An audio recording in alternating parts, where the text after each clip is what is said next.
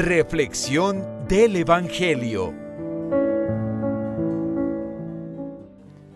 Acabamos de escuchar la proclamación del Evangelio y en una parte Jesús le está preguntando a sus discípulos, a sus oyentes y también a nosotros hoy, ¿ustedes también quieren marcharse?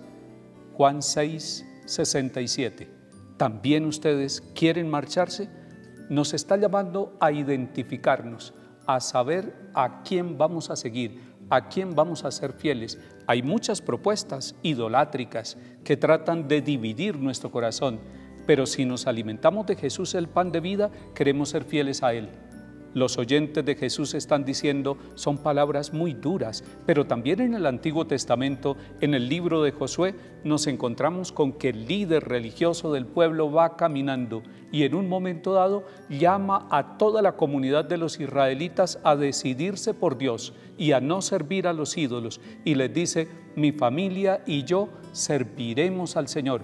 Capítulo 24 de Josué, versículo 15 mi familia y yo serviremos al Señor.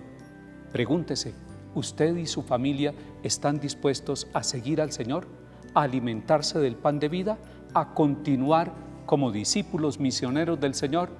Responda usted desde su corazón y en su familia esta pregunta profunda que nos hace hoy el Señor. Que el Señor nos bendiga y acompañe en el nombre del Padre y del Hijo y del Espíritu Santo. Amén.